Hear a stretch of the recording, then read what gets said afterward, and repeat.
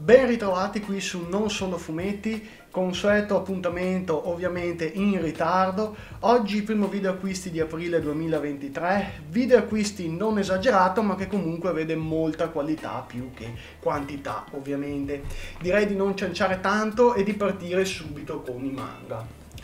Ho terminato finalmente il mio recupero sul manga a detta dei più migliore di Naoki Urasawa, Pluto, numeri dal 4 al numero 8 Terminato quindi il recupero, manga per il quale le aspettative sono moltissime, vi ricordo che è in programma l'uscita anche della serie su Netflix, quindi ovviamente mi sto anche organizzando per poter poi eventualmente commentarla insieme a voi. Ora che è stato messo tutto in saccoccia non mi resta che iniziare a leggerlo, devo solo trovare il coraggio. Coraggio perché spesso e volentieri proprio quelle serie per le quali le mie aspettative sono sempre molto alte tendo sempre un po' a temporeggiare.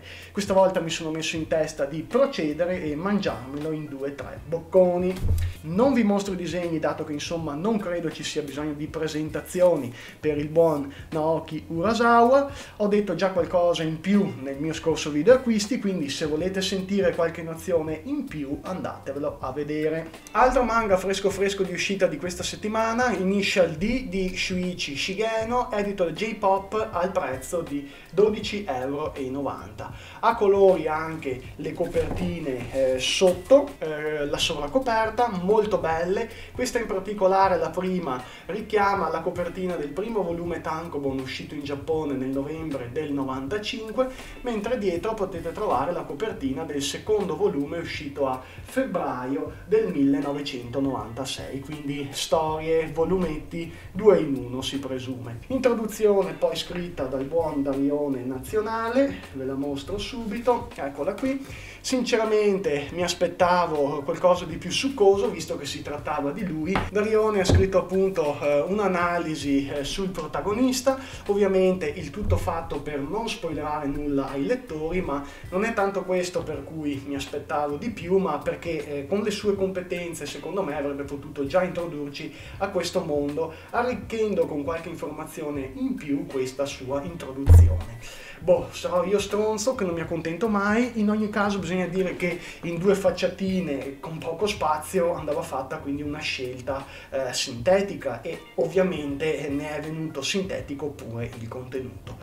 Peccato secondo me perché eh, quando Dario non spara stronzate a mero scopo di intrattenimento ovviamente eh, e si mette a parlare seriamente tira sempre fuori dei bellissimi collegamenti tra quello che è il manga e la cultura giapponese che almeno a me piacciono molto. La storia in questione si comporrà eh, per questa edizione di ben 24 volumi, tutti di questa fattura, devo dire quindi serie piuttosto lunghetta e anche abbastanza costosetta data la mole di volumi. Credo però che eh, questa storia li meriti tutti. Non so quanto voi conosciate il mondo delle corse clandestine in Giappone, diciamo che però io sono veramente curioso di approfondire questo argomento.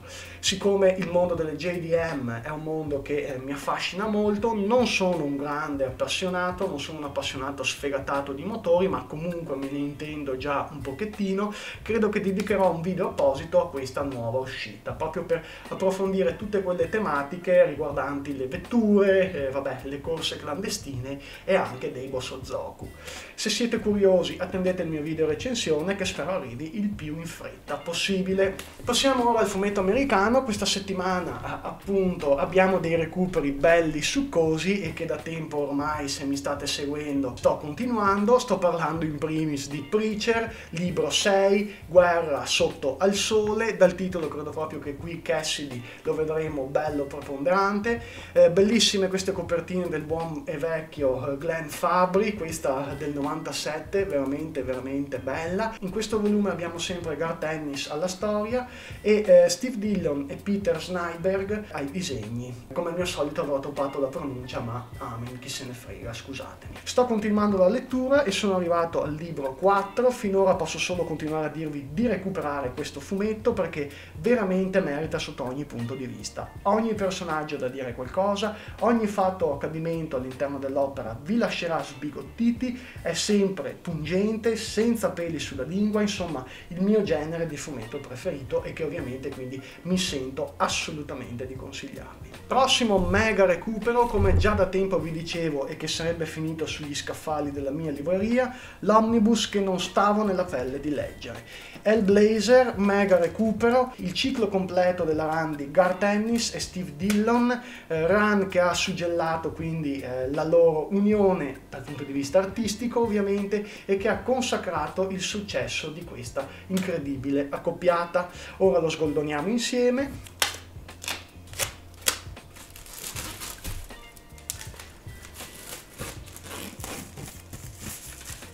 Eccolo qui, prezzo di 99 euro per un bel bimattone per costruire da zero la vostra dimora. Questo bell'omnibus contiene i numeri dal 41 al 50, dal 52 all'83 e dal 129 al 133, nonché il Blazer Special 1 e la graphic novel Earthland. Scusa gatto. Hellblazer, per chi non lo sapesse, è una serie solista tratta da Swamp Thing di Alan Moore che vede come protagonista il mago inglese John Constantine, questo in copertina. Nome non nuovo per chi ha visto un certo film con Keanu Reeves del 2005. La storia quindi narra le gesta di John Constantine,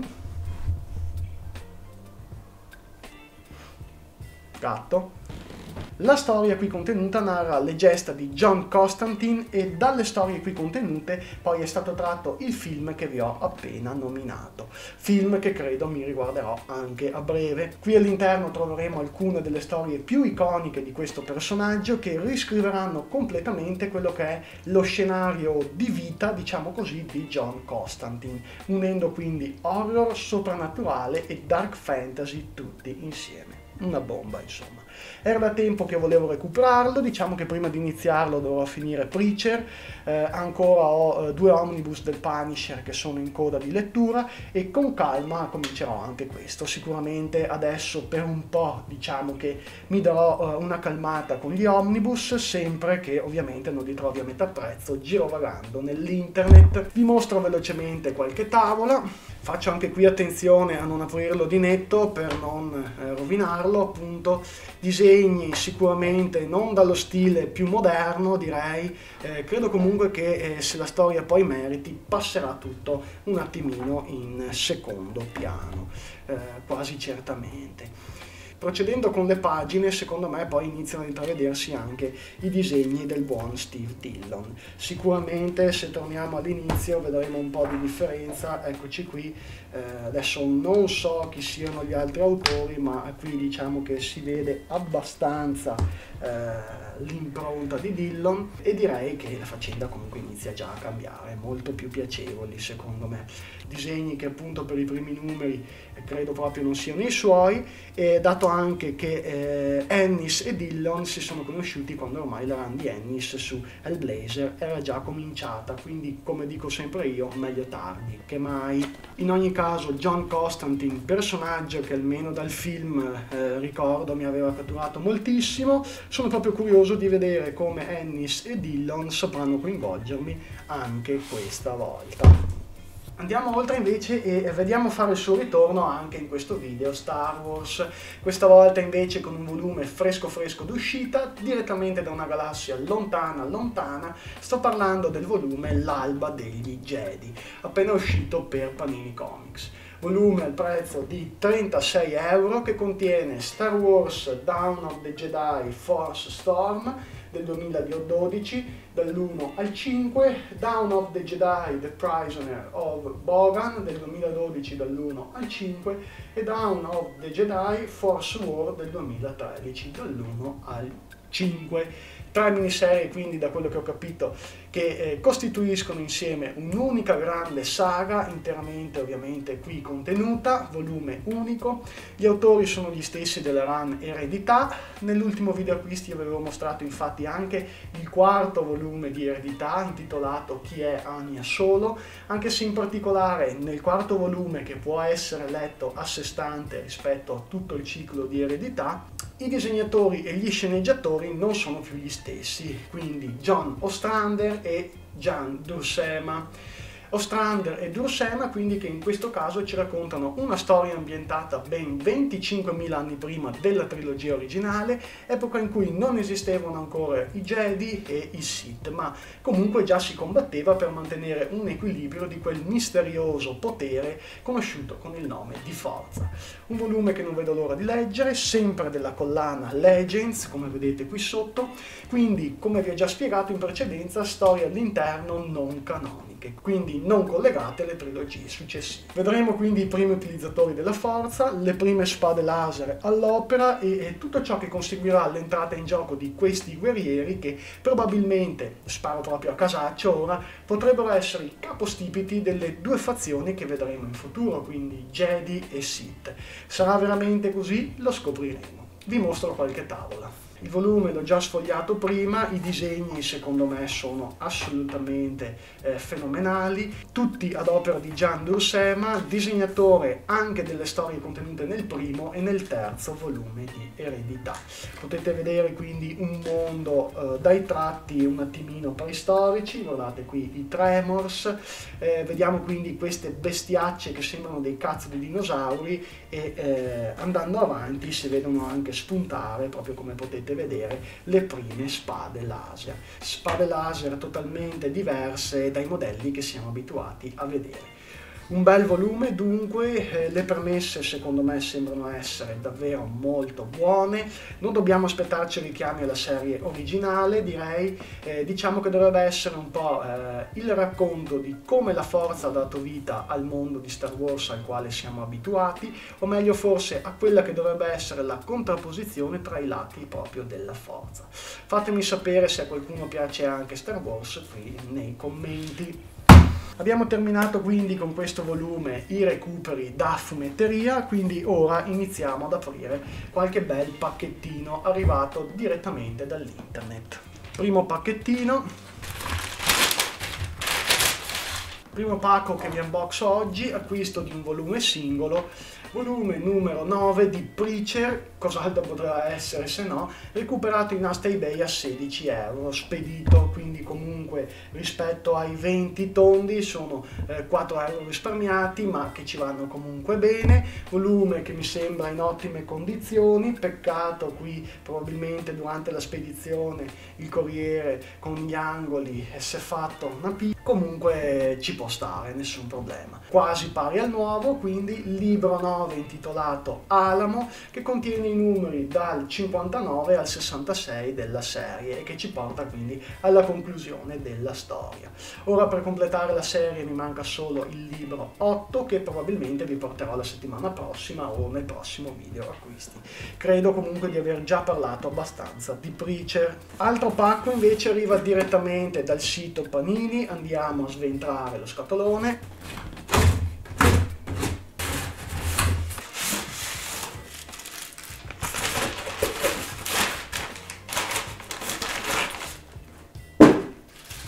All'interno troviamo il bundle per il quale ho fatto l'ordine, eh, Berserk eh, numero 1 Variant e Duranchi, ultima opera del maestro Kentaro Miura che mi mancava per avere un po' tutto quello che è uscito. Speriamo bene per questo Duranchi, anche perché a parte l'opera omnia del maestro, l'unica che mi è un po' piaciuta è stata la leggenda del Re Lupo, le altre mi hanno fatto un po' cagare. Per dirvela tutta, quindi, eh, Gigantomachia non mi era piaciuta eh, per la caratterizzazione dei personaggi, eh, peccato perché anche il world building sembrava davvero molto eh, interessante, mentre eh, Japan mi aveva fatto cagare sotto ogni aspetto possibile, non ricordo degli aspetti che lo facessero risaltare. Mi dispiace per il maestro Miura e per Buronson, ma per me è un no totale.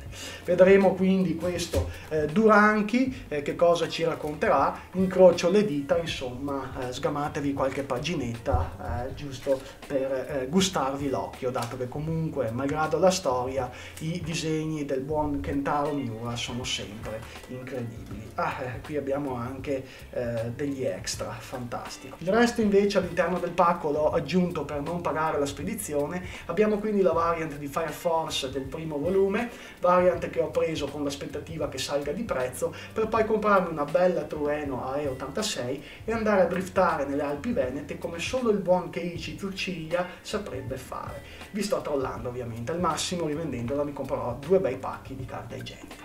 Il manga a parte gli scherzi dovrebbe essere molto carino, quindi mi sono detto proviamo questo numero 1 variant, comunque variant davvero maranza direi. Infine albetto numero 7 preso totalmente a caso di Batman Death Metal Ozzy Osbourne Edition. Non che sia un feticista di Ozzy, ma comunque mi piace davvero lui come personaggio in ambito musicale, intendo, credo che sia il più pazzo sulla faccia della terra e credo anche che in passato e in futuro gran pochi saranno i pazzi in culo come lui. Non so se lo conoscete un pochettino, altrimenti comunque vi consiglio di vedere il film sui Motley Crue per rendervi conto anche di che cosa sto parlando, ma davvero tra pipistrelli decapitati in live e formiche finite nei buchi più strani del suo corpo corpo direi che a livello di pazzia e malessere generale lui in età giovanile non abbia avuto rivali. Quindi questa bella copertina dai tratti disturbanti mi piaceva un sacco ed eccola qui pronta per essere incorniciata. Carino anche il retro, dai, eh, un po' vintage. Ovviamente questo non significa che io appoggi i suoi comportamenti malsani, infatti come consuetudine direi proprio che mi dissocio da tali atti di depravazione. Con questo cari amici per oggi è tutto, se vi sono piaciuti i miei recuperi fatemelo sapere qui sotto nei commenti, lasciate un bel like per supportarmi, mi farete davvero felice, iscrivetevi così sarò ancora più felice, io vi saluto e vi aspetto nei miei prossimi video, da un cazzo di nessuno è tutto, alla prossima, ciao!